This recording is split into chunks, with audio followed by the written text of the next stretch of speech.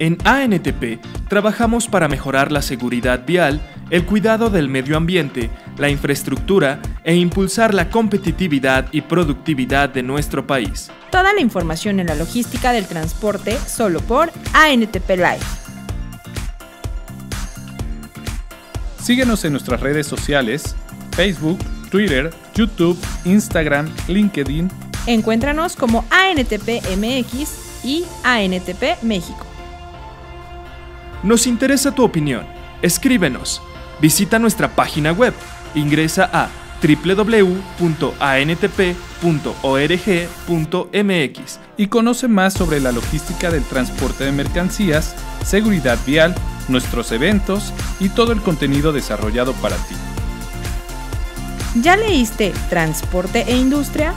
Mantente informado sobre los aspectos más relevantes del sector transporte con nuestra publicación bimestral en la que podrás seguir de cerca nuestro trabajo. Transporte e Industria está disponible en versión digital y puedes consultarla en www.antp.org.mx, diagonal revista o en nuestra versión impresa. La información es poder y tú la tienes al alcance de un clic. Conoce y lee Transporte e Industria.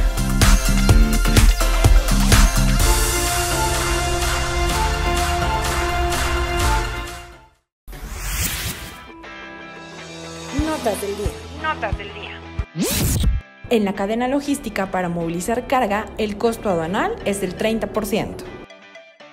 La modernización del sistema aduanal en los principales puertos del país estará en operación en un periodo de tres años, afirmó el coordinador general de puertos y marina mercante, Héctor López Gutiérrez. Al participar en el Journal of Commerce México Trade en el panel Vista desde arriba, una mesa de debate con líderes de la industria, López Gutiérrez dijo que este proceso de modernización se lleva a cabo entre la Secretaría de Hacienda y Crédito Público y la Secretaría de Comunicaciones y Transportes, a través de un acuerdo conjunto con el que se busca beneficiar la actividad portuaria.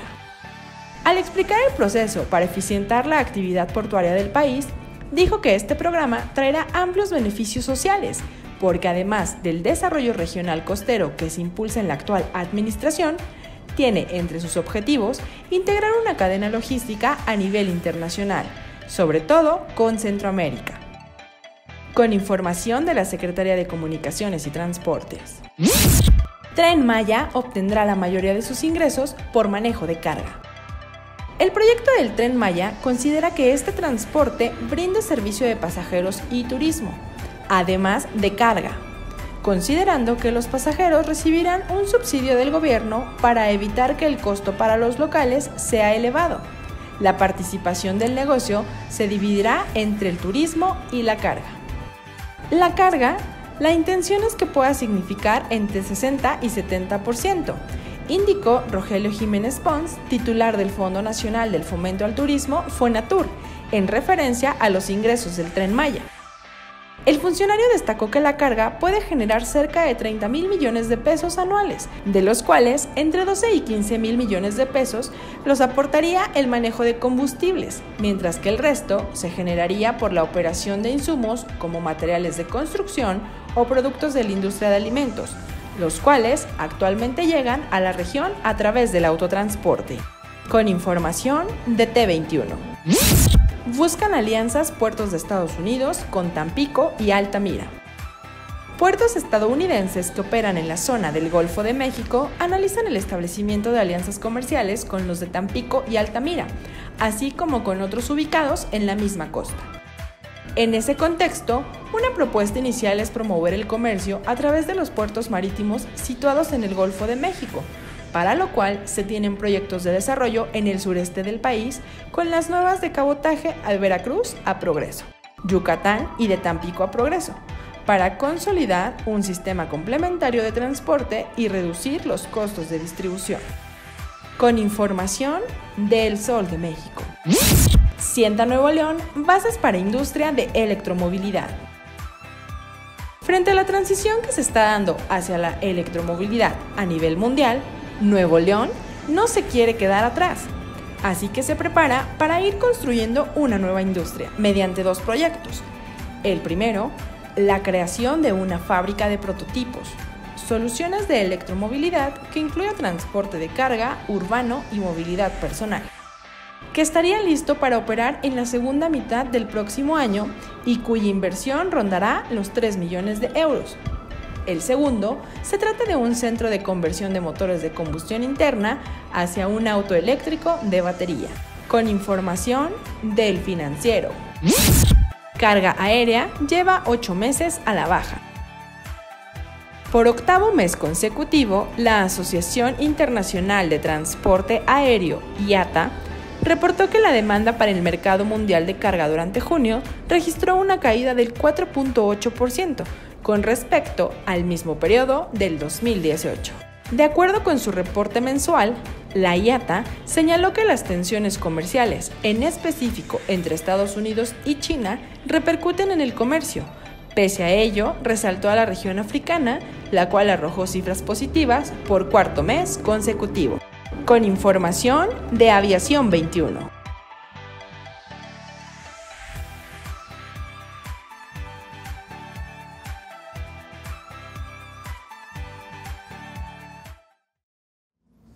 Muy buenos días, sean bienvenidos a una nueva emisión de ANTP Live, usuarios del transporte de carga. Eh, mi nombre es Luis Bravo y les damos una cordial bienvenida a esta nueva emisión. Hoy es 21 de agosto de 2019 y saludo con gusto a mis compañeros de micrófono, Gustavo. Hola, ¿qué tal? Muy buenos días a todos. Y Gerardo. ¿Qué tal, Luis? Buenos días a todos. El día de hoy tendremos varios temas interesantes para hablar en este programa. Uno de ellos será eh, la inversión que se detonará en el puerto de Lázaro Cárdenas.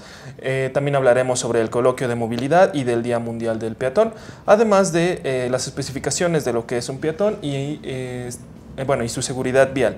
Además tendremos unos cuantos detalles sobre el Congreso Nacional de Seguridad Vial, este tercer congreso que ya tenemos en puerta el próximo domingo. Y bueno, primero que nada quisiera compartirles las efemérides del día. Un día como hoy, pero de 1842, muere en la Ciudad de México Leona Vicario, destacada periodista y defensora de la lucha independentista. También un día como hoy, pero de 1867, muere en el estado de Guerrero el general liberal Juan Álvarez, caudillo del Plan de Ayutla y presidente de México en 1855. Y por último, un día como hoy, pero de 1944, se promulga la Ley de Emergencia para la Campaña Nacional contra el Analfabetismo, cuyo objetivo era erradicar el analfabetismo en el país. Y bueno, ahora le pido a mi compañero Gerardo nos dé el comentario económico de la semana. Claro que sí, Luis, muchas gracias. Y vamos a retomar una nota del día de hoy del periódico Reforma que nos está informando que prepara Hacienda un fondo contracíclico que busca compensar el impacto en finanzas ante la caída de los ingresos públicos. Y es que la nota nos dice que la Secretaría de Hacienda buscará convertir el Fondo de Estabilización de Ingresos Presupuestarios en un fondo contracíclico. Esto lo aseguró Gabriel Llorio, subsecretario de Hacienda, durante su comparecencia ante el Senado para asumir dicho cargo. Este fondo fue creado en 2014 pero tiene su antecedente en el Fondo de Estabilización de Ingresos Petroleros, creado en 2001. Su intención es compensar el impacto sobre las finanzas públicas por caídas de los ingresos tanto eh, petroleros como tributarios. Es alimentado por los ingresos petroleros y remanentes del Banco de México. Este fondo tiene un buffer de casi 300 mil millones de pesos que se fue nutriendo de manera no estratégica sino con los excedentes que fueron quedando en la ejecución presupuestal y lo que nosotros queremos es un poquito reformular el fondo de estabilización de ingreso y convertirlo en un fondo contracíclico. Esto lo dijo el funcionario durante su comparecencia. Se está pensando en una, una nueva regla fiscal que permita fondear los recursos de manera anticipada y establezca reglas claras cuando se enfrenta una desaceleración económica.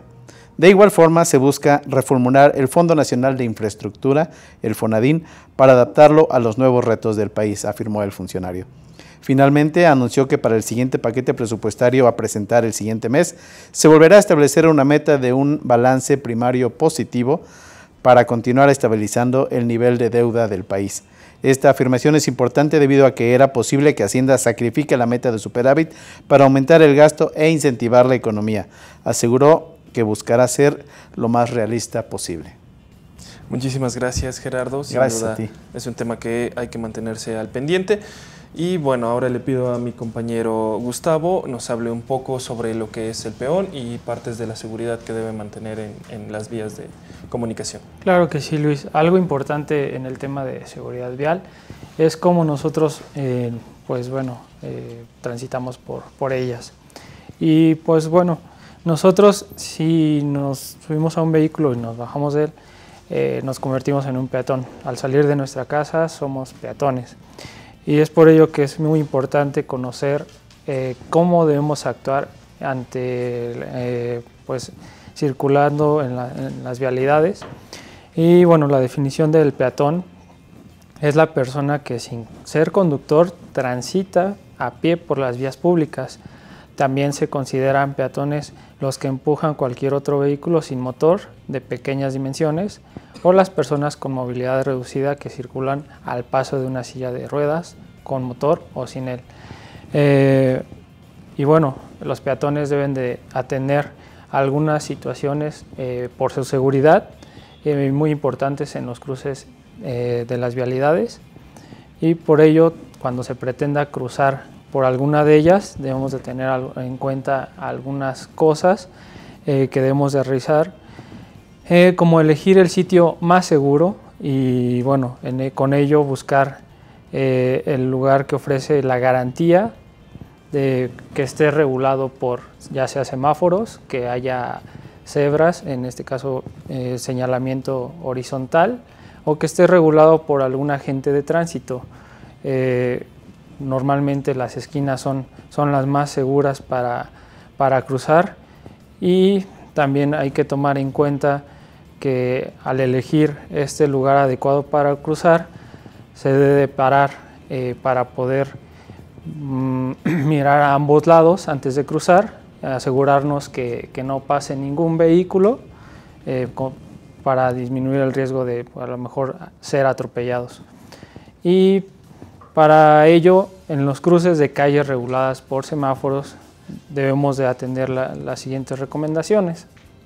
Si la fase de de la luz está en roja, eh, debemos de esperar a que se ponga en verde. Hay que situarnos eh, de forma segura en la calzada sin pisar el bordillo.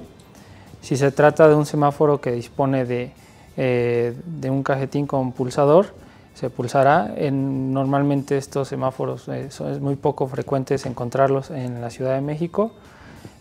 si está en fase verde y comienza a parpadear, se deberá pausar eh, esta marcha porque va a cambiar en rojo. Si cuando empieza a parpadear no se ha comenzado, eh, los peatones, bueno, debemos de, cruzar con, cuidado. Eh, para ello, no obstante, aunque el semáforo se encuentre en verde, debemos de tener precaución y mirar a los vehículos que circulan por la calzada y no comenzar a cruzar hasta pues ya cerciorarnos que no que no pasa ningún vehículo. Cuando estén regulados por marcas viales, que son los eh, señalamientos horizontales, eh, debemos de identificarlos, son con líneas eh, blancas pintadas en el suelo, en el piso. los peatones siempre tienen aquí preferencia de paso sobre los vehículos. los conductores debemos de tomar en cuenta también que no debemos invadir estas líneas por reglamento también. Eh, también hay que tomar en cuenta que, que, como peatones hay que poner especial cuidado en comprobar que hemos sido vistos por el conductor y que éste tiene intención de detenerse. Si no estamos seguros es mejor no cruzar. Y, y por último, los pasos regulados por un agente de tránsito. Eh, en algunos cruces nos eh, podemos encontrar que hay un agente de tránsito cediendo el paso ya sea a vehículos o, peatones. Eh, para ello debemos de tomar en cuenta que las señales que el agente de tránsito y las órdenes que, haga este tendrán pues como norma general la prevalencia ante todas las demás señales de tránsito. por ejemplo, se puede estar esperando a que se ponga un semáforo en fase verde y un agente mande cruzar con la fase roja. Eh, se debe obedecer a la gente ya que por un problema de avería del semáforo o por cuestión de fluidez el agente se, será el encargado de ordenar el, tránsito.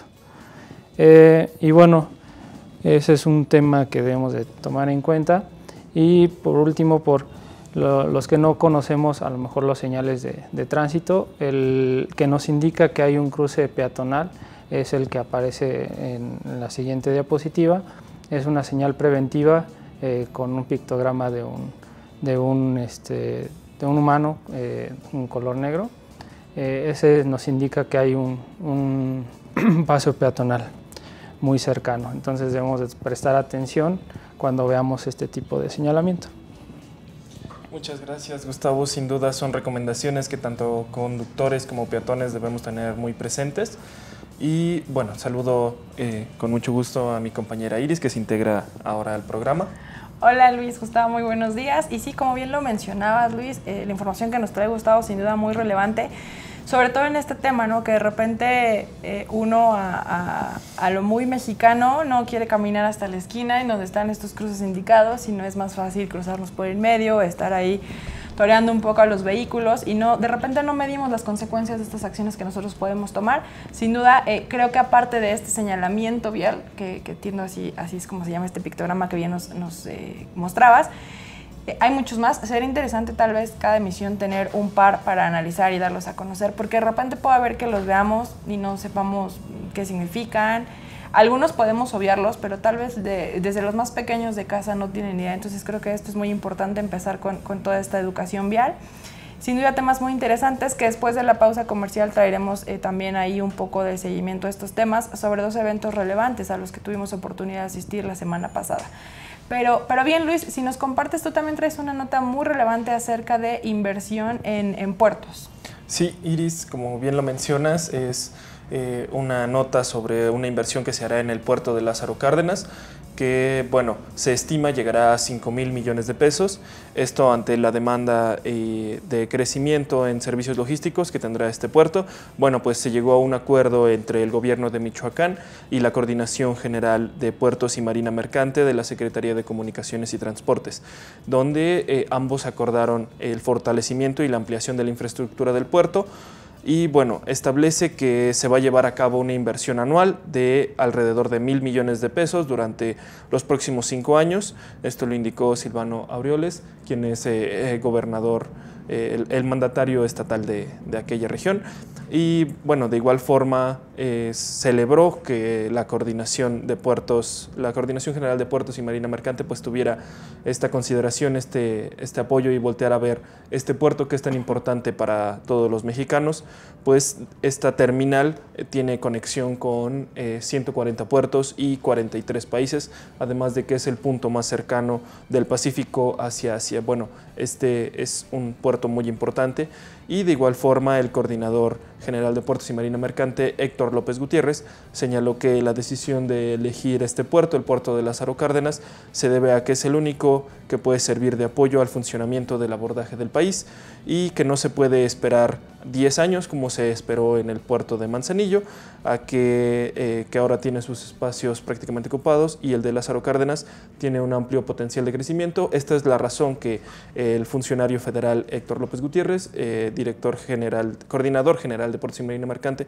pues da para eh, dar este apoyo a este, a este gran puerto. Y bueno, estaremos esperando a cuáles son las inversiones y a cuál es el resultado de todas estas inversiones durante los próximos meses, los próximos años, para estar pendientes de cómo ayuda esto a la economía y al crecimiento de los puertos en, alrededor del país y en específicamente en este de Lázaro Cárdenas. Claro que sí, sin duda muy interesantes y muy puntuales estos comentarios y sobre todo la expectativa que todos tendremos derivado de esta inversión que se está anunciando que es un tanto eh, valiosa eh, poder ver los resultados que se estén dando y todo este eh, movimiento que se va a poder ver ahí en el puerto. Así es. Muchas gracias Luis. Bien, nos vamos a un corte comercial. Recuerden que pueden seguirnos en nuestras redes sociales, en Facebook, Twitter, Instagram, YouTube, LinkedIn. Nos encuentran como ANTP México o ANTP MX. Regresamos con más de ANTP Live, usuarios del transporte de carga. Toda la información en logística del transporte solo por ANTP Live.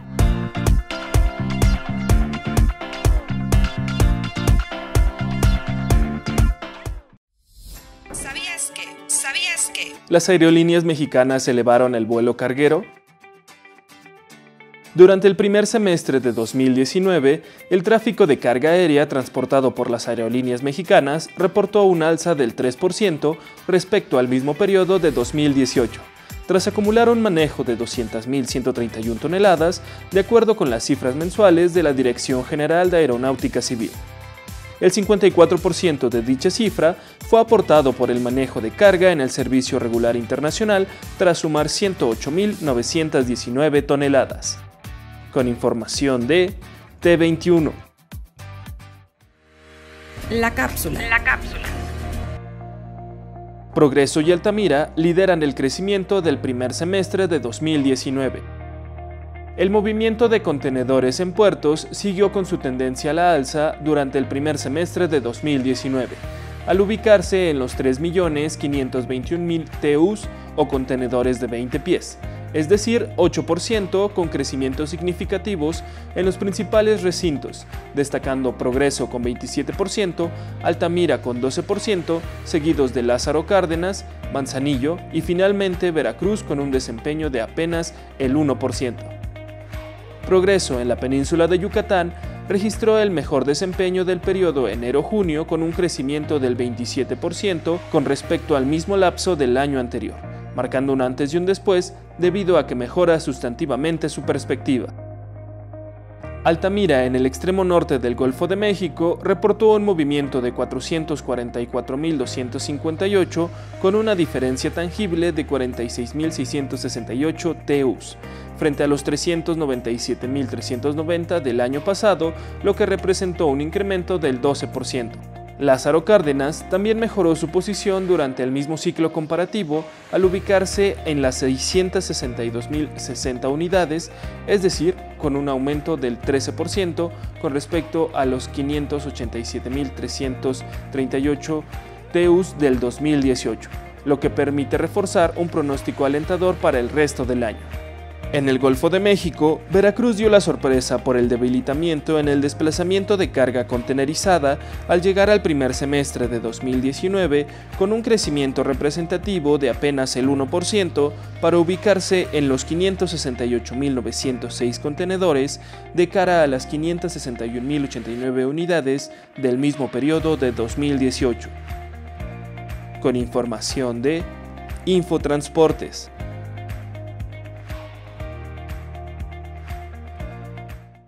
Uptime es el tiempo efectivo de trabajo de una unidad, pero para nosotros es mucho más.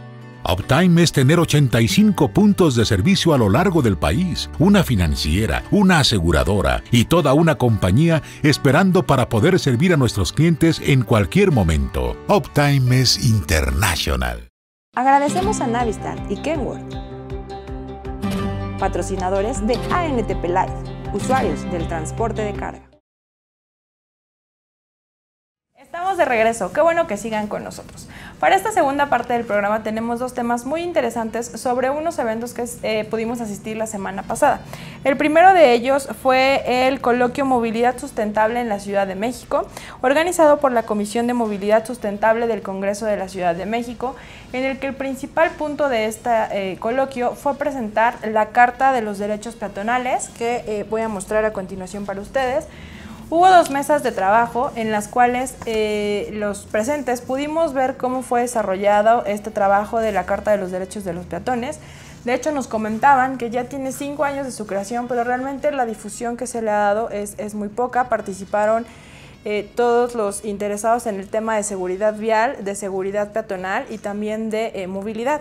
Nos contaban datos muy interesantes acerca de cómo fue la realización de este tema. Sobre todo también hubo una mesa en particular en donde participaron un par de arquitectos en los que eh, hablaban de la infraestructura y cómo ésta debe adecuarse y debe priorizar el tema de la seguridad peatonal. Este es el contenido de la carta y para ello le pido a Gustavo nos comparta mientras yo muestro estas imágenes a, un poco acerca de estos contenidos que ustedes pueden ver en los recuadros que están aquí, que son estos derechos peatonales. Sí, uno de ellos es los peatones tenemos derecho a caminar con calma por la calle, jugar en la calle. Eh, los peatones tenemos derecho a centros urbanos organizados.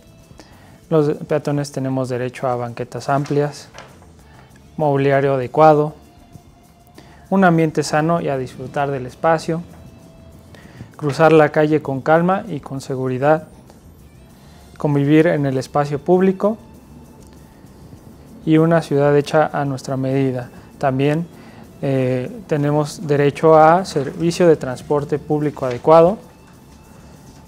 Esos son algunos de, los derechos que, nos muestra este, esta, carta, de derechos, patronales. Y muy interesante durante este coloquio, Gustavo y amigos del auditorio, bueno, nos decían que actualmente todos los usuarios de la vía competimos, o pareciera ser que competimos por tener un espacio en la misma. De repente no tenemos claro eh, cuál es el lugar que cada uno eh, ocupa y también la responsabilidad y derechos y obligaciones que tenemos como usuarios de esta vía pública. El arquitecto Aldo González Barrera, quien es coordinador general de la organización Liga Peatonal, eh, fue quien presentó este tema de, de la carta, fue como ahí la persona que lideraba esto. Y, recordaron que el 17 de, esto fue el viernes 16 de agosto, recordaban que al siguiente día, es decir, el sábado 17 de agosto, se celebraría el Día Internacional del Peatón. A ser sincera, se los, se los comento, yo no tenía idea de por qué se, se conmemoraba el Día Internacional del Peatón y entonces ahí nos explicaron que esto fue porque el 17 de agosto de 1897 Bridget Driscoll, de 44 años, cruzó eh, caminando Dolphin Terrace en los terrenos del Palacio de Cristal de Londres cuando un vehículo eh, motorizado la arrolló y la mató. Esta muerte es la primera que se tiene como eh, que se tiene registrada como que fue a causa de un accidente vial. Entonces a partir de ahí nos contaba como una anécdota un poco a bote pronto nos decía el arquitecto que quien dio, eh, el doctor que dijo que la causa de la muerte, eh, dijo que esperaba que, era, que fuera la primera y última muerte a, causa, a consecuencia de un, de un hecho de tránsito. Actualmente vemos que no es así, de hecho comentaban que 1.3 eh, millones de personas mueren en al año por accidentes de tránsito. Otro de los datos muy interesantes que mencionaban ahí es que del total de viajes que se hacen en la Ciudad de México, el 60% lo hacen mujeres, mujeres el 60% son, peatones, y eh, personas, niños o adolescentes menores de 15 años. Que es, entonces, de alguna manera, las, las mujeres y la población de 15 años o menor es la población más vulnerable al ser peatón en la Ciudad de México daban una serie de recomendaciones y bueno, a, raíz de esto nos invitaron a todos los presentes a participar en el tema de eh, las actividades que se iban a hacer en torno a la conmemoración del Día Internacional del Peatón. Esto tuvo lugar el día 17 de agosto. Para la Ciudad de México eh, hubo diferentes actividades en diferentes eh, lugares de la ciudad. El, el que yo pude participar y asistí por ahí fue en el del Monumento a la Revolución, en donde estuvieron eh, presentes también algunos diputados que están impulsando la Ley General de Seguridad Vial, que como saben aquí lo hemos comentado, ANTP también está tratando de impulsar y de colaborar con las autoridades, con todas las cámaras y asociaciones para que esto pueda ser ya un hecho y pueda traer beneficios para todos. Dentro de los actores que estuvieron ahí eh, estuvo la diputada María del Pilar Lozano, McDonald, y eh, tenemos un audio que ella, eh, de las palabras que ella dirigió de, previo a formar una, una huella eh, peatonal para exigir que la Ley General de Seguridad Vial sea ya una realidad. Vamos a escucharla. Gracias a todos ustedes, a las organizaciones de la sociedad civil, sobre todo a Areli, a Dani, a Alejandra, a Salvador, muchos de los que están aquí que nos han ayudado a sensibilizarnos en el tema. La verdad creo que nosotros tenemos una gran responsabilidad y con mucho orgullo lo digo, que queremos sacar esta ley adelante y estamos convencidos de que vamos a poder sacar esta ley adelante, que es tan necesaria. Déjenme platicarles una anécdota. Mis abuelos, hace muchos años, estoy hablando de los 40, mis abuelos nunca tuvieron un vehículo, nunca tuvieron un coche. No sé si porque tal vez nunca tuvieron eh, la posibilidad económica para comprarlo o porque simplemente no les interesó pero recuerdo que ellos siempre me decían que era mejor conocer la ciudad a pie, y ya que ellos nunca tuvieron un vehículo, siempre caminaron a esta ciudad y así fue como la conocieron. Y nosotros tenemos que regresar a eso, nosotros tenemos que concientizar a la gente, a las siguientes generaciones, a que estas ciudades deben ser primero de los peatones, primero deben ser de las personas más vulnerables, de los que están en bicicleta.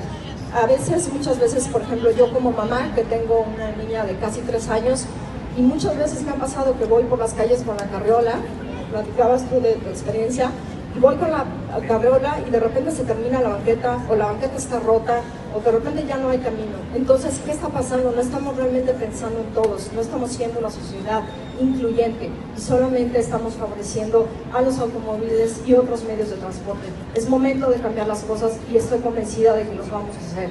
Además, quiero sobre todo agradecer a mi compañero Javier Hidalgo, a la senadora Patricia Mercado, porque yo creo que eh, con el impulso que la senadora ha tenido, obviamente, desde el Senado y con el trabajo que estamos haciendo en la Cámara de Diputados, no tengo la menor duda de que vamos a sacar esta ley adelante. Tenemos el compromiso con muchas personas, con toda la sociedad, pero sobre todo con nosotros mismos, porque nosotros también somos peatones y tenemos derecho a la ciudad.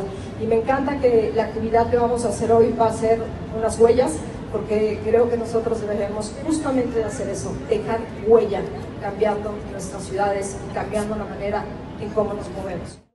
Bien, pudimos escuchar ahí el breve mensaje que nos compartió la diputada María del Pilar Lozano McDonald, quien es presidenta de la Comisión de Desarrollo Metropolitano, Ordenamiento Territorial y Movilidad de la Cámara de Diputados, quien resaltaba un poco el tema de la importancia de, la eh, Ley General de Seguridad Vial, de la movilidad y de la seguridad vial. Dentro de esta actividad les comentaba yo que en el piso se marcaron unas, eh, con cinta adhesiva se marcaron unas huellas y se puso también las iniciales de Ley General de Seguridad Vial ya y esto fue retomado por diferentes estados de la República. En pantalla ahorita podrán ver el resultado del trabajo en el Monumento a la Revolución así como en otros eh, estados de la República. Por ahí tuvimos el reporte de Guadalajara, que estuvieron también muy activos de la mano del diputado Juan Adán Martínez, también en Hidalgo, en, Puebla, y en diferentes estados. tengo entendido que se sumaron 17 ciudades de, eh, del, del, país para conmemorar este Día Internacional del Peatón. Creo que es muy importante, Gus, remarcar los trabajos que se están haciendo y el cómo podemos ir sumando esfuerzos porque finalmente, algo que hemos dicho aquí constantemente en ANTP, eh, la seguridad vial es responsabilidad de todos y ahora el tema de una movilidad segura también debe empezar a ser responsabilidad de todos. Sí, es correcto, Iris, como lo mencionas. Creo que este tipo de actividades eh, alusivas a, pues, algo que sucedió hace pues, ya un tiempo, de 1897, donde nunca se esperaban que pues, una persona fuera a fallecer por un atropellamiento. Eh, pues bueno, como vemos las estadísticas actualmente, pues, eh, pues ha habido muchos muertos a lo largo de muchos años y creo que esta serie de actividades buscan tener eh, el llegar a las personas a crearles esa conciencia de respeto. Creo que nos hace falta ese tipo de, actividades o, o, coloquios que nos enseñen a cómo respetar a los demás. Es algo tan sencillo eh, el circular por una banqueta eh, y por ejemplo vemos muchas veces a ciclistas invadiéndolas, eh, pudiendo causar un accidente o personas cruzando por las avenidas en medio donde no deben, conductores en vehículos en exceso de velocidad, no respetando los señalamientos viales. Creo que es algo que nos hace falta, el respeto hacia los demás y con este tipo de actividades se busca eso, concientizar. Eh, sensibilizar y qué consecuencias puede traer el no, eh, pues respetar algo que, que, es tan sencillo, a lo mejor un reglamento de tránsito, ¿no?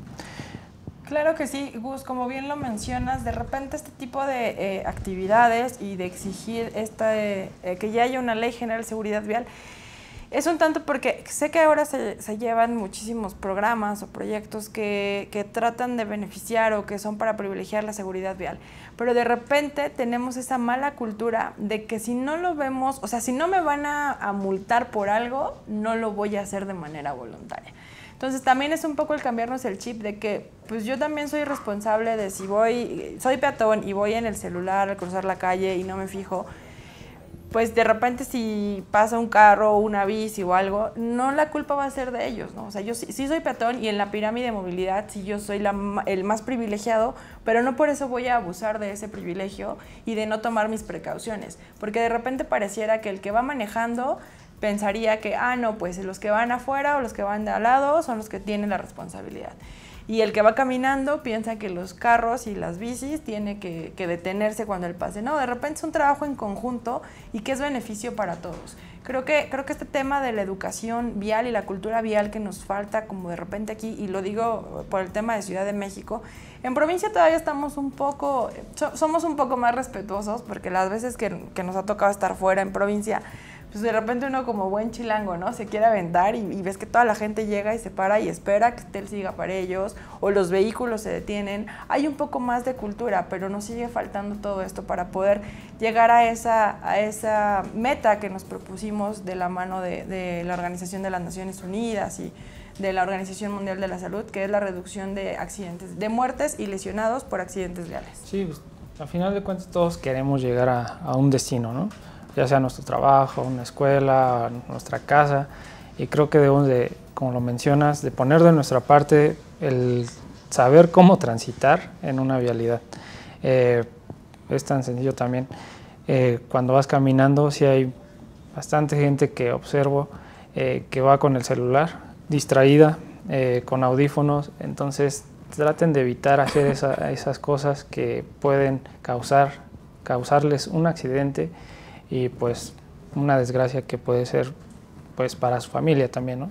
Entonces eh, tengan mucho cuidado al transitar tanto peatones, ciclistas, eh, motociclistas, eh, conductores de vehículos de automotor, tengan mucho cuidado al transitar en las vialidades y sobre todo respeten a los demás, eso es lo principal. Claro que sí, parte de ello es, bueno, de, de nuestra parte, aparte de tener estas cápsulas sobre seguridad vial y sobre movilidad, también traeremos eh, lo, que, lo que te comentaba Gus, eh, que nos apoyes con el tema de traer toda esta señalización, porque de repente la podemos ver y es como, ah, bueno, sí, no sabemos qué, significa. Entonces creo que entre más conozcamos todo este tipo de, de, de, todo lo que es el reglamento, señalización, estaremos mejor informados y también vamos va a ser más fácil que podamos prevenir un accidente. Y bien, con estos temas eh, ya es como llegamos al final de la emisión. Agradecemos que nos hayan acompañado como cada semana en www.antp.org.mx y a través de nuestras redes sociales. Agradezco también a mis compañeros que estuvieron en la primera parte y a mi compañero Gustavo. Gracias, nos vemos hasta la próxima emisión. Les recordamos, les reiteramos la invitación a nuestro tercer Congreso Nacional en Seguridad Vial. Vamos a tener eh, toda la transmisión también con algunos, algunos cortes. Lo, lo ideal es que nos acompañen allá. Eh, no se la pierdan a través de nuestras redes sociales. Nos pueden seguir en Facebook, Twitter, Instagram, YouTube, LinkedIn como ANTP o ANTP MX o ANTP México. Agradezco también a mis compañeros de producción. Esto fue ANTP Live, usuarios del transporte de carga. Hasta la próxima. ¿Quieres capacitarte y conocer más acerca de las mejores prácticas en seguridad vial? No te pierdas la tercera edición del Congreso Nacional en Seguridad Vial evento que busca crear sinergia entre los asistentes y hacer conciencia sobre la seguridad vial, los retos y oportunidades en la materia, así como las acciones que emprendemos por la seguridad de sus familias y de los usuarios que transitan por las carreteras. Asiste y podrás ser testigo de sesiones teóricas y demostraciones prácticas de nuestros socios, quienes nos compartirán su experiencia y las buenas prácticas que les han dado grandes resultados. El Congreso ayuda a disminuir los incidentes viales y a replicar las acciones que han dado resultado a otras empresas. No te pierdas en agosto la tercera edición del Congreso Nacional en Seguridad Vial. Te, esperamos.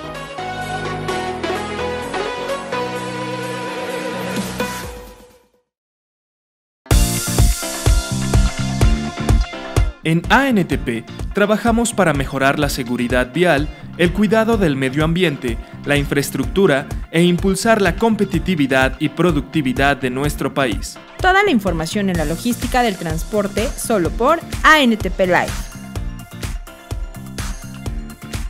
Síguenos en nuestras redes sociales, Facebook, Twitter, YouTube, Instagram, LinkedIn. Encuéntranos como ANTP MX y ANTP México. Nos interesa tu opinión. Escríbenos. Visita nuestra página web. Ingresa a www.antp.org.mx y conoce más sobre la logística del transporte de mercancías, seguridad vial, nuestros eventos y todo el contenido desarrollado para ti.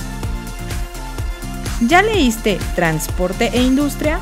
Mantente informado sobre los aspectos más relevantes del sector transporte con nuestra publicación bimestral, en la que podrás seguir de cerca nuestro trabajo. Transporte e Industria está disponible en versión digital y puedes consultarla en www.antp.org.mx, diagonal revista o en nuestra versión impresa. La información es poder y tú la tienes al alcance de un clic. Conoce y lee Transporte e Industria.